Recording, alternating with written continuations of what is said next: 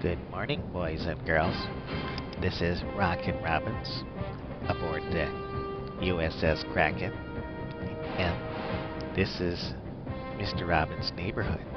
Let me put on my sweater, and then we'll take a tour of our nice instruments down here.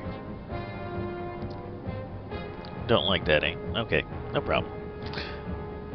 Let's start our tour of the nav map.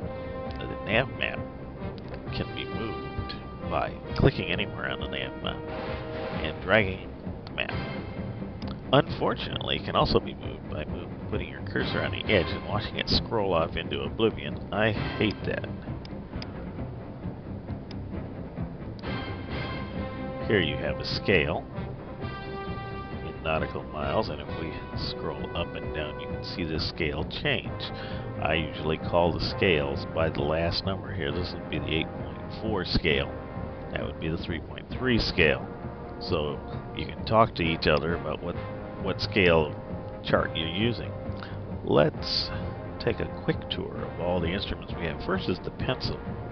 This is a marker, and all it does is it makes an X.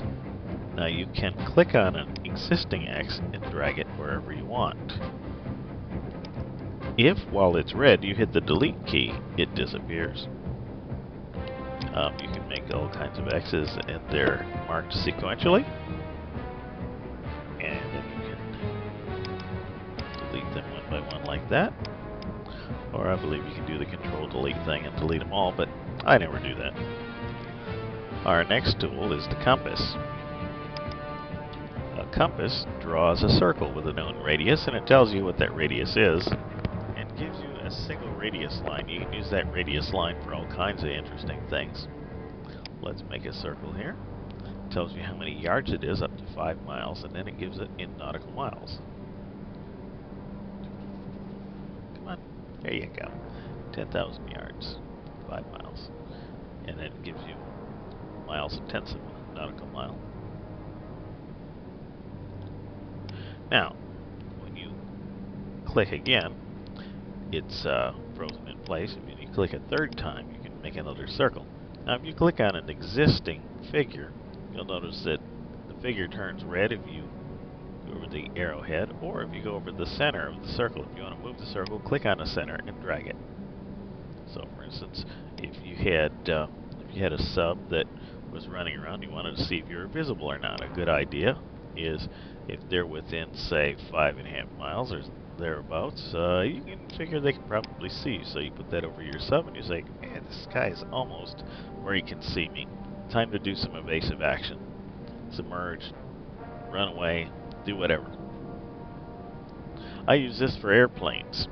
I run a five mile diameter circle around my around my sub. We got an airplane out got an airplane out here and he's cruising somewhere around here. What I'll do I'll take my ruler tool, get a little ahead of myself, and I'll draw a little ice cream cone out of this thing.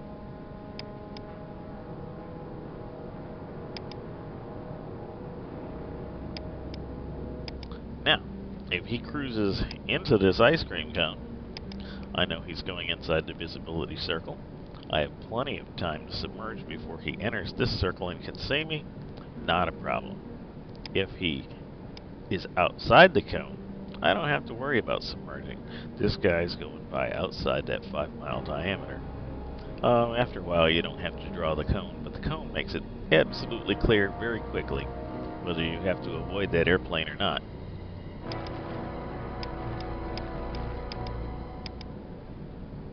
Alright, so that's the circle. You can also grab the arrowhead and resize the circle. Alright. Uh, magnifying glass, you can zoom in. I don't think you, yeah, you can zoom out with the with the right, you can zoom in with the left, which you can do with your uh, with your scroll scroll your scroll wheel anyway, so that's no biggie. This is the protractor. Protractors are really neat. Uh, let's do a let's do a typical application here. You've got a course line right here. Suppose that I want to intersect this course at a right angle. Let's find what a right angle is. Click on the course. Go down here pretty close to where the intercept point would be. Click again. Draw it out until it says 90 degrees right there. Click. And then you can see that our intercept course is 300 degrees. If I come to course 300, I'll be 90 degrees to the track. Um, you can also, you have a boat out there, you have a ship out there,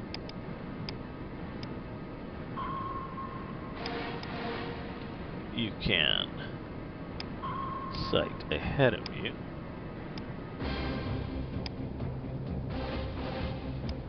That's not very good, is it? And you can find out what the angle is to this particular target. 360 degrees minus 144. I don't know what that is. I don't have the inclination to figure it out. But that'll tell you what your bearing to the target is, so you can raise the uh, the periscope at the correct bearing.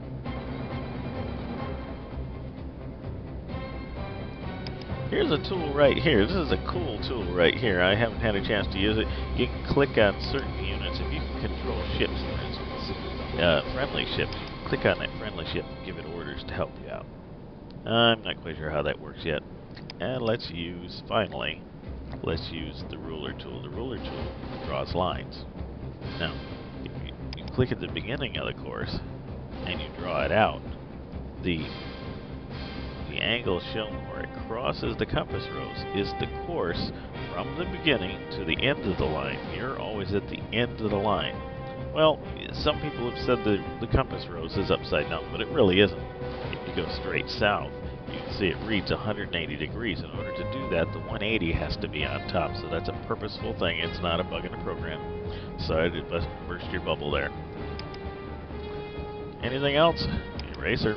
Eraser erases everything it comes in contact with.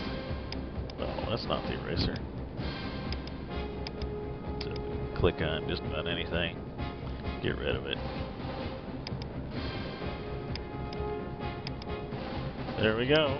And that's the end of the charting tutorial. That's really all there is to it. All these tools are fairly simple. If once you've been shown how they work, uh, it becomes second nature. It has a real vertical learning curve at first. Hope you enjoyed the video. Sorry about the uh, Mr. Rogers thing at the beginning. Talk to you later. Bye.